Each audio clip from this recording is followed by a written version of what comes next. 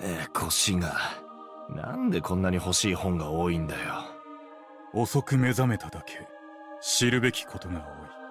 私は他人よりも遅いことが常だったから。他人より年老いてるわけじゃなくて？くだらない闇だ。ここの師匠はみんなカルメンという人についてったって聞いたけどお前もその人についてって研究を始めたのか？皆がカルメンに追随したが私は他の人に追随した。ロボトミーを立ち上げアンジェラを作ったアインという人がいた。私は彼を信じた。誰もが何かを信じるよう。私はその人が行うことが正しいと信じた。ローランお前は宗教を信じているか？いやそもそも都市にまともな宗教があるのかが気になるな。規模の大きい宗教だとしてもみんな金に目がないし逆に何しに行くんだよって感じだ。聞き方を変えるか。お前は何を信じている？信じてるもの？俺がいつかここから出られるってことを信じてるな。それは望みだ。じゃあ俺は信じてるものなんかないみたいだなそもそも今すぐの生活にも困ってるのにそんなものを気にする暇がどこにあるんだよ。夢であれ望みであれ今すぐ助けてもらえないのにそういうことを考えて振り返ること自体が難しい世の中だ。そういうお前には信じてるものがあるみたいだな。私は先生が望んだ世界が来たることを信じている。この心情から私の行動原理を決定するのだ。そんなに献身的になれるとかどんな人だったんだよ。遠いところを眺めてる人だった。届かぬところへ。届かんとした人だった。それはカルメンって人も同じじゃないのか。違うな。アインさんは悪であっても喜んで受け入れようとしたから。話が出たついでに言うけどそのアインってやつのこと俺には理解できないよとっくに死んだ人をどんどん無理やり生き返らせて地下でおままごとをやってただけじゃんか。ままごとという言葉で例えられるほど軽いことではない。どれだけすごいことを悟ったのかは知らないけどその過程は迷惑そのものだな。あんたたちが無理やり第二の生を受けてロボトミーで苦しんだのもアンジェラがあんなに怒ってるのも。全部そいつのせいだろ。部外者の立場から見ると全くもっていい感じには見えないんだよ。先生はされども届かんとした。どうにか満たしすり減る生を絶えんとした。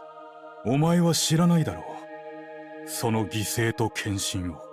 狂信者かよ。信仰は弱い人の目を曇らせるんだよな。目が曇っているのは私だけではないようだったがな。おめえよりはマシだよこの野郎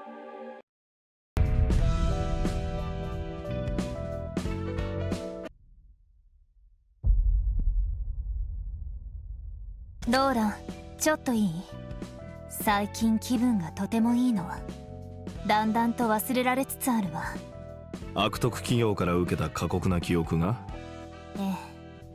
あの残酷だった時間見たくも覚えたくもない者たちが霞んで薄れていく。もう目を閉じても思い浮かぶのは100万年前の瞬間じゃなくてたった34日前のことだけ私の選択を通じて勝ち取った。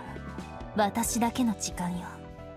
そしてどんな時よりも時間が早く流れているわ。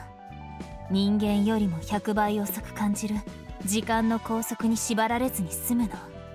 日に日に気分が良くなってるのよね。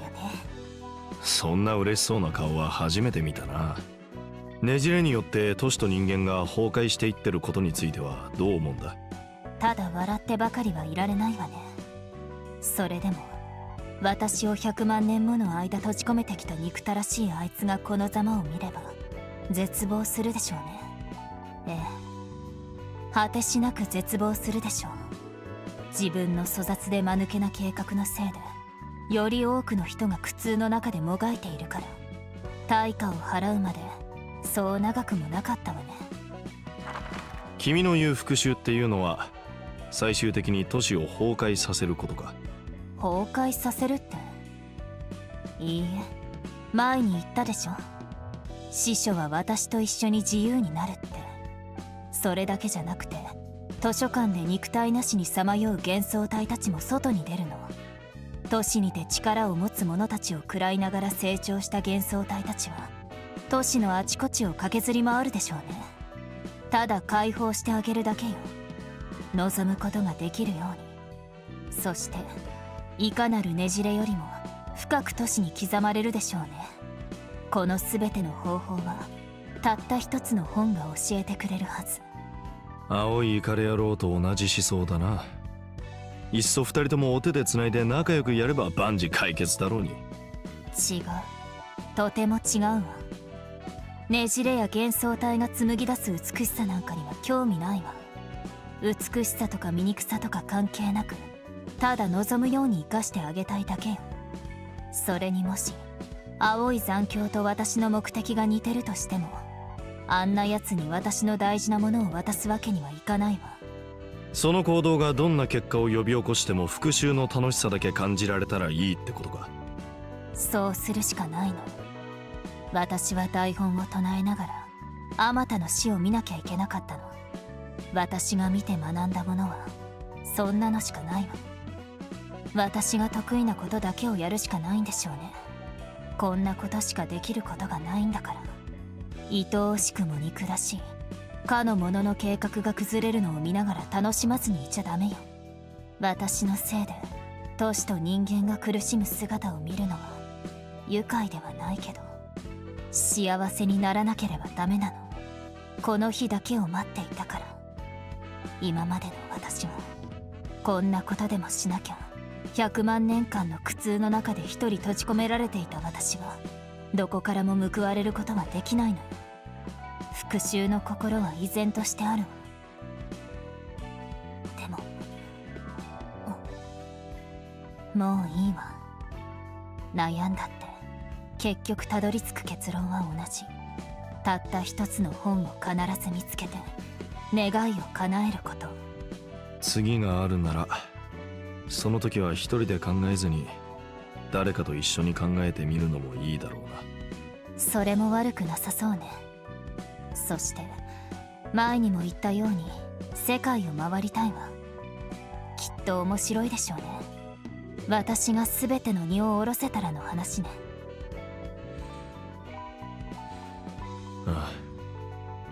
この全てが終わったら考えてみようか。新しい本だよ。幻想体を背負って戦うことには慣れたか？普通に気の向くまま振り回せばなんとかなったけど。相当適性があるようだな。こんなのにも適性があるのかよ。ただやるだけなのに。お前に適性があればこの次にはお前のエゴを発言することもあるだろうな。それは俺もねじれて幻想体になることもあるってことか。その通りだよ。今さら化け物だのなんだの。そんなものになるって言われても関心すら湧かないな。それがどうしたって感じもするし。多くのものを下ろしたような言い方だな。下ろしたんじゃなくて奪われたんだよ分かりもしないことに押し流されて全部失ったんだ。都市のせいだと思っているのかい？お前の平凡でささやかな幸せを都市が奪っていったと思ってるのだな？ああどうしようもないと思って諦めたのかも。俺が望むものができたとしてもこの世はそれを放っておいてはくれないんだどうにかして俺に苦痛を与えようとするんだ。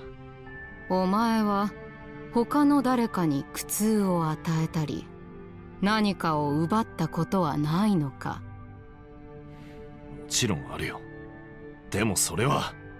それはそれでこれはこれと言いたいのだろう。されども果たしてそうなのかそう安逸に切り捨てることができる問題だと思っているのか？当たり前だろ俺が経験した痛みは俺のもので他人の痛みは他人のものだから。気楽なことを言うんだね。誰よりもよく知りながら誰よりもその事実から目をそらしている。お前は見えていないというわけではないんだよ見ていないだけだ。都市の人々はそれゆえ脆弱なのだよ。自らの痛みが何よりも大切で確実だから。されどもそうではないことを知っているがゆえにその矛盾の中でねじれが形作られていくのさ。お前には見えるのかこの年の痛みが。それを全部押し量れるって何が問題なのか？押し量らずに見つめなければならない。やっぱ言葉遊びばっかりか。そんな雲をつかむようなこと言ってるうちにみんなくたばるんだよ。それももっともではあるな。それゆえ私がここにいるのだろう。本は渡したからそろそろ戻るよ。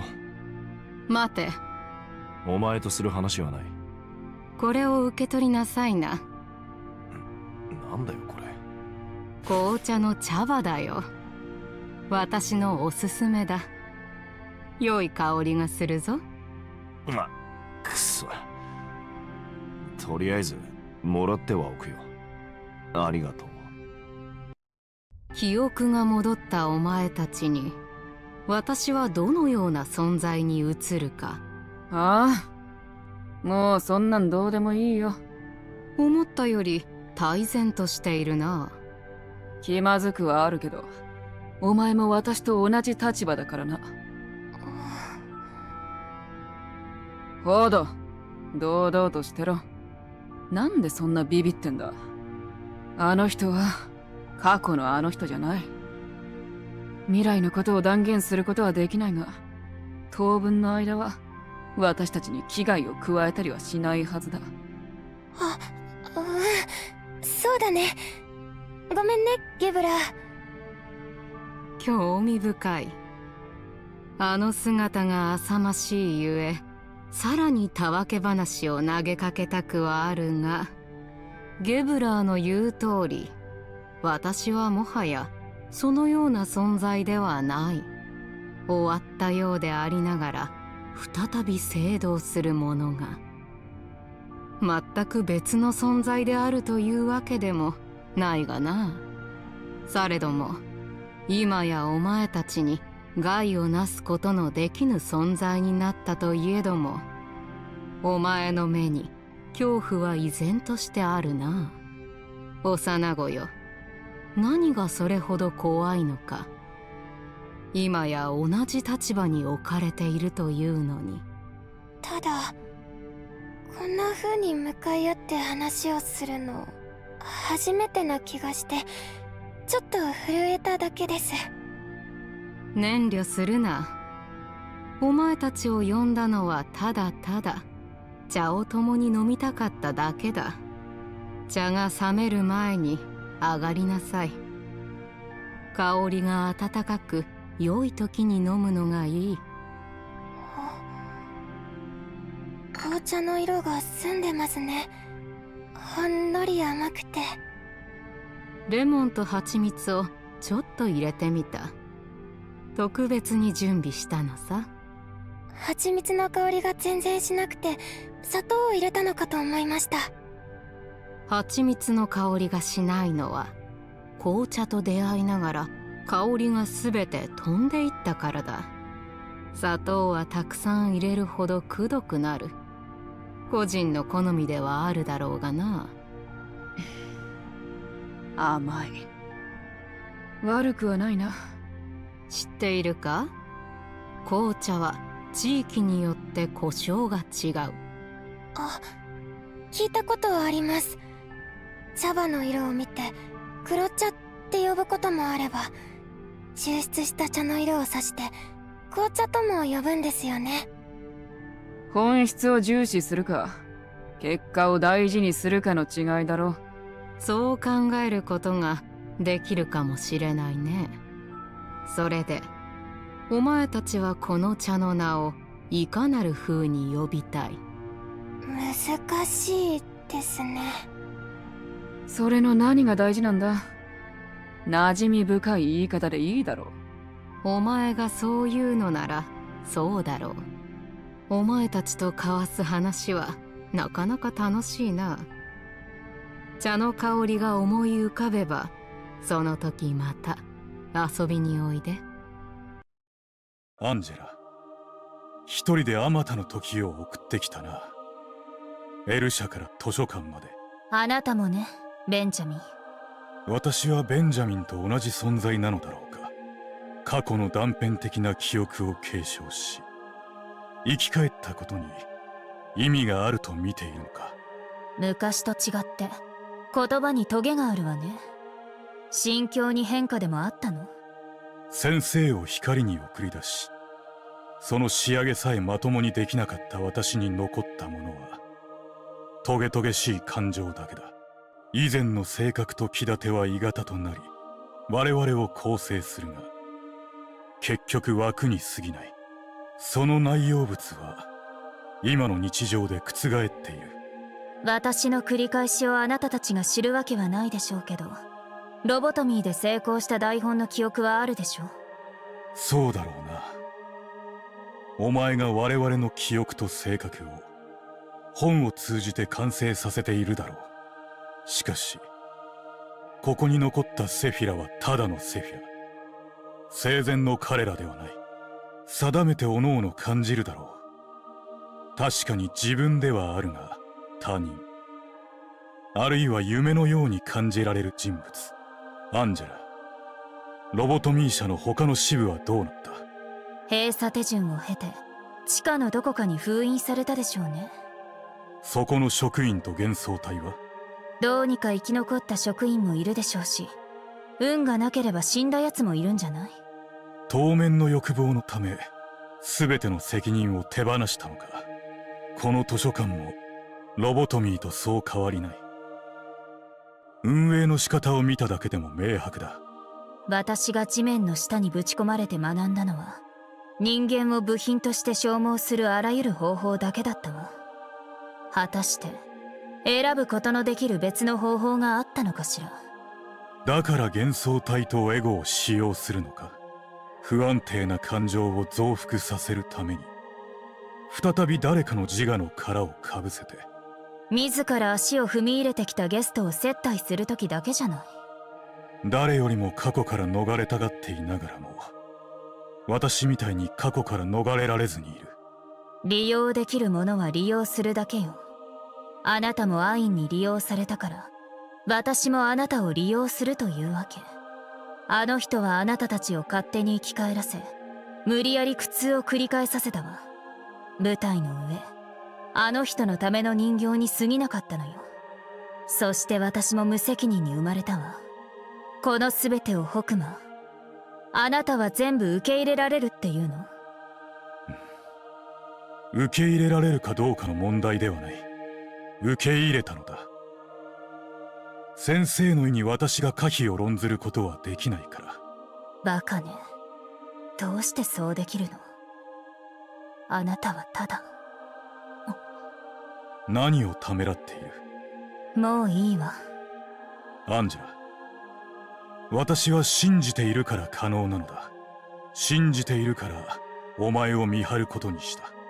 鬱陶しいわねあんたもアインもさらにネジが外れたんじゃないの？やっぱりあんたはベンジャミンじゃない。ベンジャミンは少なくともベンジャミンだけは私に人間じゃなくてもいいって言ってくれたたった一人の人間だった。そうとも。君の目の前にいるのはベンジャミンではなくホクマーという存在だ。そしてアンジェラ私が人間かそうでないかは重要ではないと思っているのはベンジャミンと同じだ。本の整理でも終わらせなさい。一人で酔っては何をそんなに考え込んでいらっしゃるのですか？話をする気にはならないようですね。丁寧に接しようって気にはなりませんね一人の時間を邪魔されたことに怒っていらっしゃるのでしょうか。それとも未だに過去に縛られていらっしゃるのでしょうか。両方でしょうね。どっちも気に入りません。今もあの時も。僕だけの何かが遮られたって点がですね。それでも誰かと一緒に飲む場を楽しむ時もあります。相手が私ではないという前提の上でですか？花から嫌だってわけではないってことです。そんな気はないと思いますけど社交辞令として聞いておきます。一杯飲まれますか？知っていながらお聞きになるのですか？あなたの思っている通りあまり気乗りしません。じゃあ用もないのに何のためにここまで訪ねてきたんですか？挨拶をしに回ってる途中だということにしておきます。前とは違いますね。皆が変わる分私も変わるのでしょう。そう。それで思い出したのですが指定司書の方々はそれなりに自分の考えが整理できたようですね。あなたはどうでしょうか？まだわかりませんね。しっかり考えるのが怖くもありますしもし僕が選択したものが真の答えじゃなければどうすればいいのかもわかりませんし。どうして正しい道だけを選ぶことができましょう。自分が行く道が正しいと考えるのです。真実というものはそういうものです。信じることとも似ています。直接選んだ道。自分のいる場所。直接見て触って聞いた全てが真実へと向かう道です。自分が真実へと向かうということを信じなければならないということです。よくはわかりませんけど慰めてくれてありがとうございます。でも何を言ってるのかもわからなくて難しいですね。いつものことですけど。あなたは決めましたか？どうでしょう？皆の意見が決まる日になってから話すことができるでしょう。これ以上あなたの時間を浪費させられませんね。短い間でしたが楽しかったです。みんな報告書はあらかじめ読んだよね。図書館はこれから花が包括的に引き継いで処理することになるわ。図書館が都市の星になってついには花で処理する日が来るなんて。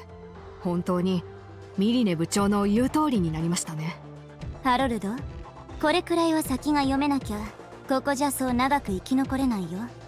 オリビエの心境複雑そう。消えた長年の友達が図書館にいるって誰が想像しただろうな。だからって今回の件しくじったりしないよね？それはそれでこれはこれだあいつがいつも言ってたようにないいわ。私たちの目的はただ一つ。ねじれと図書館の関係を明確に分析するのこの過程での全ての衝突は許容されるわ。今や図書館は都市を照らす。都市の星だから。まだ図書館とねじれとの関係性には曖昧な点が多いし。少なくとも花協会だけでもその因果を観測するべきってことか図書館は入ってくる全てのものを食い尽くす勢いで肥大してるの。文字通りこの都市すら飲み込んでしまいそう。だから図書館の行動原理も把握する必要もあるしとりあえず現在の状況を整理しよう。理由協会南部支部は視力のフィクサーを図書館で失って大きくぐらついているみたいだな。しばらくは協会総会での立場がないだろう。じゃあリュウ南部支部は親指に報復されないよう非常に消極的になってるだろうね。ういや親指も同じだ。エル社にとどまっていたアンダーボスを含めて有能なカポたちを失ったから。今回の戦いからは押し出されただろうな。結局エル社の巣に残っているのは。あいつらだけだ。エル社の巣の霧に閉ざされ図書館がその姿を現してそれからは青い残響。いや正確には残響楽団が陣を張ってて近づけないの。そしてそこを起点に数多くのねじれを作っている。あの中で何をやらかしているのかわからないな青い残響。これまでの行動を見るともうフィクサーでも何でもない。少なくとも都市の星に準ずる危険組織ね。妹を失ってから行かれてたな。理解できないわけでもないよ。ピアニストはあの日都市に消すことのできないねじれそのものを残したから。それで人員はどう分配するつもりですか？とりあえず私たち参加は図書館に人員を集中的に投入するつもり。図書館では可能な限りたくさんの本の回収を巣ではねじれの確保。そして青い残響を追うのは教会公文書を通じて一級事務所に依頼を進達して。やっぱり一課や二課は別用があるのか。一課は青い残響を。二課は8人のシェフを担当してるって言ってたな。うん。そして青い残響を追いかけていた一家が全滅したって話も聞いたね。特色のうち朱色の十字も派遣したはずなのに。そんな全滅したって。青い残響の力は推し量れないな。そしてニカから受け取った報告には8人のシェフがもう解体されてたって。正確にはシェフ7名が現場で料理されたまま発見されたって。どれも身分を特定できないほどにひどいありさまだったらしいね。残りの1名は？行方不明。仲間を裏切って全員を料理したってことか。多分違うと思う。パッと見だと8人のシェフのやり方に見えるけどあの人たちの調理法はコース料理であってビュッフェじゃなかったから。これによって外部による解体とみて教会本部では公式的に星が沈んだと発表することを検討しているみたい。8人のシェフを一体誰が解体したかが肝心だろうね。まさかその後に。うん。ニカの推測としてはその背後に残響楽団がいるみたいだって。もしかしたら青い残響は教会が想定している以上のことをやらかしてるのかもな。今までにない規模の事件がここ都市南部で同時多発的に発生しているの。もちろんより深刻な事件もあると思うけどその頻度と難解さを考えるとこの状況はとんでもないレベルね。花教会をはじめとして全ての教会が緊急事態に突入したの。セブン教会によるとトレス教会とセンク教会南部もねじれによって主要な人材がやられたって。そっちなら血染めの夜と狼の時間だろうな。全部急速に危険性が増加した事件だね。人形師は言うまでもないし。しかも昨日の約束は W 社の得意点が顔負けするくらい簡単に空間移動をするって聞いたんだけど。全部個人が持つような力じゃないよ。ねじれは今までの都市を否定することをしでかしているの。都市の空気が変わってるってことね。それなのに頭は特に何の動きも見せてないのか怖いくらい静かね。あるいは頭の動向を意図的に上から伝達してないのかもしれないし。ミリネ部長。じゃあ私たちは状況によって図書館から手を引くこともあるんですか？いいえ。むしろ図書館に迎えって命令が出てる。この状況を統制するためには図書館の力が何なのかどんなことを目標にしているのかについての正確な情報が必要なの。それでも4課は私たちを手伝ってエル社の巣に隔離処置をする予定よ。残響楽団の生み出すねじれが区域を離れちゃダメだから。じゃあ図書館は俺たち参加だけで無事に始末できるって判断したのか？ダメなら私たちはそこまでってことよ。これ以上手の打ちようがないって意味でもあるしそうなれば図書館は他の星みたいに都市で最も自由な存在のうち一つとして空に刻まれるでしょうね。誰かさんは事務室で缶詰になって徹夜で作業してるっていうのに。とにかくみんな準備するように。部長会議が終わってからちょっと話できないか。都市で最も自由な存在になるだなんて実感が湧かないわね。ああとても近くなったみたいだな。ええ。ほぼたどり着いたわ。だからより一層実感が湧かないの。花教会がここを訪れるほどいろんなことがあったのね。花教会はフィクサー教会の中で最も大きい教会って言ってたわよね。ああこの前にも言ったように花教会はフィクサーの許可も出すしフィクサーのランクを決める場所でもある。リアルタイムで事件の危険ランク調整をしてみんなに知らせる仕事もしてるな。そして都市の星は花教会が直接処理しに来たりもするんだ。今みたいにな。長いこと付き合ってくなかったのは都市の星の地位にある以上ずっと訪ねてくるってことだろう。変ね。何が？大したことじゃないわ。太客が来たんだし準備でもちゃんとやってなさい。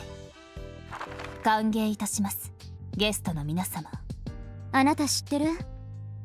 やっとエルシャの巣のどこからでも図書館が見えるってこと。何がおっしゃりたいのですか？図書館を守ってくれる霧がほぼ消えたってことだ。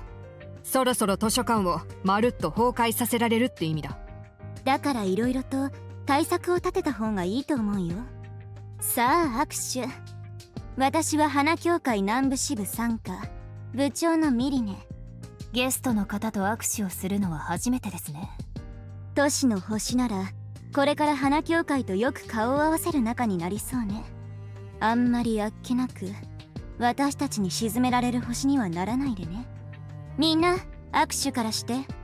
花協会南部傘下のフィクサー。ハロルドです。花協会南部傘下のフィクサーオリビエだ私も長い付き合いになることを願います。オリビエ図書館の主と顔も合わせたし君はそろそろ帰ってニカの人たちが呼んでたでしょ？わかった。何を企んでいらっしゃるんですか？オリビエはあなたと一回握手させるために連れてきただけだからそんな神経質にならなくてもいいよ。じゃあ先に帰る。まさか私たちが軽い気持ちでここに来たとでも？心配しないで。私たちもあんたたちを見くびって対策もなしに来たわけじゃないから都市の星であるからこそそして花協会のフィクサーであるからこそそれに合った礼儀を払って迎え入れないと覚悟しろ。今日都市の星が一つ沈むことになるだろうから。はい。ではあなたの本が見つかりますように。会うと思ったんだけど予想が外れたな。知り合いがいるの？友達に会いそうだなって思ったんだ。会えなくてよかったけど。それは外想像以上に外の状況は悪いみたいだな。花協会が大騒ぎするくらいなら。都市が壊れていってるのかしら？いや心配しなくてもいいと思うよ。都市はどうにか回っていくから。頭がいる以上都市の本質は変わらないだろうな。頭は正確に何をしてるの？分厚いベールに包まれていて誰も詳しいことは知らないな。頭が直接管理している A 社は表向きには特許管理造幣翼の権限付与とかの業務をしてるんだ。都市を生きながらえさせる全ての重要な要素を握っているってわけだそして都市を崩そうとするものをどうにか探り出して選別するんだ。頭も翼のうちの一つだってことね。頭目足爪はそれぞれ翼 A 社 B 社 C 社を直属で管理して運営してるんだ。調律者と足爪で？そういうことはよく知ってるんだな。赤い霧が身を置いた研究施設が頭によって崩壊させられたの。カーリーは仲間を守るために調律者と足爪を倒した後に死んで後ろにいる者たちを守るために最後の最後まで力を尽くした姿と状況はもう二度と見られないでしょうね。どんな感じか想像つくよ。まあとにかく頭が都市の不純物だと判断すれば調律者業師者足詰めたちを派遣してどうにか間引こうとするんだ。あの日の研究は都市の不純物だったのかしら？でも本当に変だな。この前ほどりも聞きはしたけど都市の内部でもない外角の研究室に調律者が直接足を運んだっていうのか俺にはこの部分がどうにも理解できなくてな。あなたもいろんな師匠に聞いたから知ってるとは思うけど嘘じゃないわ。私も理由はわからないけど今頭が静かなのは都市の状況が大丈夫って判断してるからかしら。とりあえずはそう見てもいいだろうな。頭が図書館に来たわけでもないし。頭が図書館に来るだなんて気になるわね。長生きしたいならなるべく興味を引かないようにした方がいいと思うよ。紫の涙。あなたが教えてくれたようにやったよ。あとは俺のやり方で決着をつけるだけだろうな。歓迎いたします。ゲス紫の涙の言う通りお前はほぼ人間になってるな。加えて図書館がお前を保護する力も弱くなった。何の真似？機械じゃない。人間の体ならより一層気をつけろ。でも首を切ったところでお前はまだ死ねないようだけどな、はあ、その通りよ何の仕業かと思ったんだけど。殺せないとしてもできることはたくさんあるけどな。お前のために手に入れてきた T 社の得意点を使用した工房の暗殺装置だ。やはり力はあっても世間知らずだったか。疑いもせずに相手と遠慮なく握手なんかするからそんな目に遭うんだよ。まず相手を麻痺させてこのボボタンを押せばたったの1秒で作動する単発装置だけど効果は確かだ。この装置は人間の脳に負荷をかけ精神だけ1000年が流れるようにして最終的に一般的な人間の脳と精神は崩れる。ワープ列車みたいだな。オリビエ。花協会に入ったくせにこんな贅沢で危ないものを使うなんてな。全財産でもつぎ込んだか？あと無駄口が多い。久しぶりだなローレン。いつ出てくるのかと思ったよ。やっぱりこの人間の真似をする化け物を守っていたのか。は？あ化け物だって？厳格な俺の上司であり友達なんだぞ。アンジェラこの野郎は俺が一人で相手するからちょっと下がっててくれありがとう。私の助けは？一人で片付けるべきことなんだ。俺が解決すべきことだから心配するな。分かった。助けが必要ならいつでも言って。ローラ。これがお前が偉そうに言ってたあの計画か？本当にやる価値があるのか？俺たちが今まで見てやられてきた全ての悲劇と大差ないことをお前はこの機械と一緒に図書館でやってきたんだ。理解してくれとは言わない。受け取れ。黒い沈黙の手袋だ。これでお互い貸し借りはなしだ。いつもありがとう。懐かしい感じがするな。これで最後までバッチリ助けてもらったことになるな。今お前がここまで来てしまったのは俺の責任でもあるからそれでもお前が消えた後にどれだけたくさんの後始末をしたのかお前には分かんないだろうな。お前も俺も別に家族なんていないし消えた後に心配する人もいないって思ってただろうな。でも俺はチャールズ事務所の他の奴らと違って結構心配したんだよ。五択を並べて消えた時にはいろんなことが頭をよぎったよ。その話をしてからほどなく黒い沈黙と思われる存在が狂ったまま都市を引っかき回しているという噂を聞いた。あらゆる怪しい実験をする組織を無差別的に虐殺していると相手を選ばずにな。指からフィクサー事務所までそれに南部にある中指を半分壊滅状態にしたって話を聞いた時には俺も耳を疑ったよ。人生の全てのしこりと恨みを都市に吐き出してるみたいだったな。もしそうなら中指だけじゃなくてさらにはその怒りと狂気で都市全体を破滅させるのかって思った。またまた話のスケールがでかくなってるな。あの時に黒い仮面越しにお前の目を見た人は誰だってそんな風に思っただろうよ。心配してくれてありがとう。俺もお前がどこかで運悪くくたばってるのかって思ったよ。結構前のことだけど実際俺があの時連絡受け取って急いで行ってなかったらとっくの塔に死んでただろうな。あの日短い連絡でも何も言わずに来てくれてありがとう。その後はごめんいいよ。どうせ俺も巣の移住権を得られるかもしれないって言葉にあたふたしながら言ったんだし。いろいろとごめんな。他のメンズはどうだ？オジエとかアストルフォみたいなやつとか。翼に戻ったり遺跡を探索したり。それぞれ生きる術を探してる。俺たちも昔とは違う。遠くなりすぎた。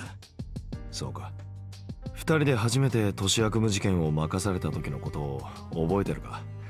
そのなんだ事件の名前が？16区の裏路地で起きたデミグラスソースの秘宝。そうだそうだ。仕事はほとんど片付いたけど最後にお前の腕がミキサーで粉砕されるところだっただろう？それでも俺の処置のおかげで義手代は浮いたんだし本当に良かったよ。あれは本当に緊張感あふれる仕事だったな言うなら正確に言えよ。お前がソースがどれだけうまけりゃこんな大騒ぎになるんだってお玉を口にしなきゃよかったんだよ。またまた一歩も引きを取ろうとしないんだな。それでもあの時が一番楽しかったよ。あれこれ気にせず目の前にあるものにだけ集中すればよかったからな。ああ。でももうあの時には戻れない。ローラン。お前もあらゆる悲しみと怒りを溜め込んだままこの機械のもとで働いてきたんだし。いろんなことを覚悟しただろうな。ああお互い遠くに行き過ぎたよ。でも久しぶりに話せてよかったよオリビエ。俺はこれから花協会のフィクサーとしてやるべきことをやるだけだ。仲間たちの本を回収し危険要素を処理する。それはそれでこれはこれだろ。そうだな。それはそれでこれはこれだから。行くぞ。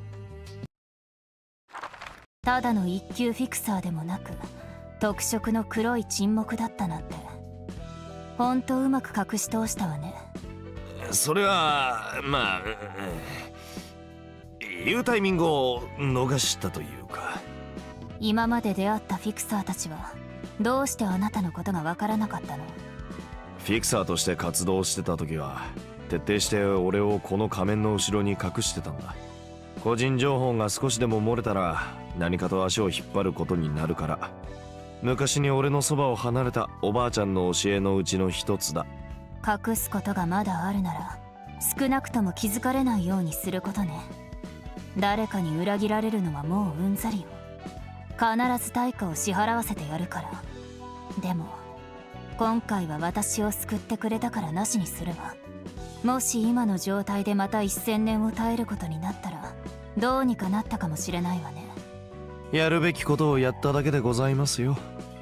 友達を失ったけど大丈夫なの？それはそれでこれはこれだから。思ってたよりもよく顔を合わせるな。それが私の元へ来ることが嬉しいという意味だとは思わないことにするわ。それは好きに捉えてもらっても差し支えない。要件は？聞きたいことがあるの北馬。この図書館の館長であるお前が知らないことがあるのならなんだ？ここについてどう考えているのか。くだらない助言でも聞きに来たわけか気に入らないなら答えなくてもいいのよ。私が見る限りここは煉獄だ。地獄だと考えてるわけではなくて。招待状を通じてここに足を踏み入れたゲストはその瞬間量子化され複写される。彼らの人生を本へと繰り広げる準備をするのだ。しかしここで生き絶えてもそれは実際に死ぬわけではない。ここは模擬実験をするのと似た仮想空間のような場所だから。よく知っているな。彼らの記憶と知識を差し出したまま永遠の眠りにつくだけだ。アンジェラお前はどうして彼らを解放せずにいるんだ？ゲストたちの命が絶えないというのはお前が悩んでいるということだろう。そうね。どうして解放できないのかしらどうして悩んでいるのかしら。あなたを含めた全員と私は光によって形成された存在よ。だから図書館の外にも出られずここでのみ存在できる。そして私はこの制約を。解きたくて。ここにいる全員が生き返るか全員死ぬか。どっちかでしょうね。極端な選択の重さを甚だ卑怯だと思ったことはないのか。わからないわね。それでも私が選んだ道だから最後まで進むことにしたわ。無限の空間にて迷わぬ術。意味のある本はどこにある？私に必要な本はどこにある？果たして本当に私に必要な本なのか？そもそも存在はするのか？この果てしない生の空間にて。羅針盤になるのは新人だけだ。新人がなければ道があれども前に進むことはできない。その道がどんな危険性を抱いているのかすぐにはわからないから。ああ。そして誰もが探しさまよう。どこかにあるはずの自分のためのたった一つの本。お前の心は未だ堅固か？きっと。最初の頃と違ってどうして確信できないのだ？さあもう私も私のことがわからなくなってきた。わ北馬あなたは本当に存在するって信じてるの？私の意見は重要ではない。そうでしょうね。アンジェラ宗教とは信じることだ。たった一つの本は信心があるがゆえに存在することができる信心が崩れるとき図書館も共に崩れ落ちるはずだ信じてるから存在することができるって宗教にて信心の深さは人によって違うことは明白だ 누가 뭐래도 광인에게 그 믿음은 진실이지. 있다고 믿는 게 아니라 믿기에 존재하는 거다. そしてその信仰が破れた時大多数の魂の息は絶える 誰かが信じぬせいで存在意義が消えたものはそのまま消えるのみ。しかしアンジェラお前はまだ息が絶えていない。私のように先生を信じて裏切られたがむしろ新たに自分の足で歩まんとしている。お前はもしかすると自分と同じ境遇の師匠そして幻想体全てが作られた舞台ではなく主体として生を送ることを望んでいるのかもしれないな。カルメンやアインなどの何者にも生を任せず自分の足で生きていけるように。今になって人聞きのいいことを言うの。受け入れ方次第だ。本当に皮肉なことだよ。先生と私がアンジェラお前に無責任にも生命を付与し想像したのに今やお前が無責任にも生を与えようとするだなんて。そういう風に言いながら結局私の邪魔をするつもりでしょそれはお前の選択次第だ。その時まではお前を信じる。そろそろ戻るわ。お前はここに来るたびのんびり紅茶ばっかりすすってるよな。私のように皆安息に浸っている。都市で人間を脅かすものはただ。人間だけの時代なんだよ。外角には人間の作った怪物たち。外角の彼方には人知を超えた存在が泰然としているにもかかわらずな。うじゃうじゃいるって聞いたな。怪物から人間を守っているのか人間から怪物を守っているのか。その境界すらもモコだとは思わないか？当然怪物から人間を守ってるんだろう。そうして初めてその境界がモコになった時人間の本来の姿が現れるんだよ。それがエゴであり幻想体と呼ばれる者たちだ今その現象はねじれと命名したようだな。え？都市の話をしてるわけじゃないのか？それにさっきからずっと人の本来の姿って言ってるけど。人間って一体何なんだ？どうして本来の姿っていうのが全部ネジが外れてるんだよ。さあ何だろうか。人間はただ動物界の霊長類か？人間は何だと思う？欲望の塊。やはり単純に考えるほど本質を見抜くものだよ。だからなんだよ。お前の言う通りだよ。欲望の姿こそ人間の本来の姿ではないだろうか。また言葉遊びかよ俺が聞きたいのはそういうことじゃない。お前も分かってるだろ。頭の調律者として知っていることを聞きたいのだな。都市の秘密が知りたいのだな。どうして頭は都市を傍観し苦痛を湧き立たせるのか。厳格に統制しているようでどうして全く統制しないのかということか。ああだから答えは？沈黙するだけだ。落ち着きなさい。教えたくともそうすることはできないんだ。私を本に展開しても同じだ。すでに私は私が知っている全てのものを空にした状態だから。頭の調律者であったものは何時であれどそういうものだよ。へいへい。俺もお手上げですよ。お前から何かを知ろうとするのはもう諦めるよ。つまらないな。それでも賢明だよ。ここでお前の横にいるのは調律者でも何でもない。ただの人間であった存在だ。それでも俺はお前をいいようには見れない。アンジェラもそうだろうなエポケ私をあるがままに見なさい。いかなる判断すらせず。その間学習した何にもとらわれずに私をご覧なさい。どうして人間が築いてきた経験を取り払ってただ見つめることができるんだよ。私を調律者としてではなくセフィラとしてではなくただ私自身として見つめてくれればいいのさ。ただ私が経た時間それ自体だけで全てを知らないかのように見つめるなら見えるだろう。人間は都市で互いに絡み合いつつ長い時間が堆積してきた。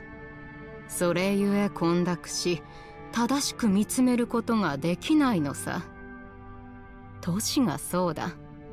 ただ自分の目で見つめる必要があるんだよ。お前の言う通りならみんな自分の心の向くままにそれぞれの世界を見る必要があるってことか。同じカップを見てもお互い同じカップだって思わないのか。お前だけの目でそれ自体を見つめてごらん。そうすれば見えるだろうされども見えた時何故見ようとしたのか忘れることになるだろう。見ようとした理由を忘れるがゆえ苦痛であり悲劇でもある。みんな勝手にそれぞれの世界を抱くことになる。それは答えが決まっている都市じゃありえないことだ。ああそれならそれぞれの宇宙を覗いてごらんなさい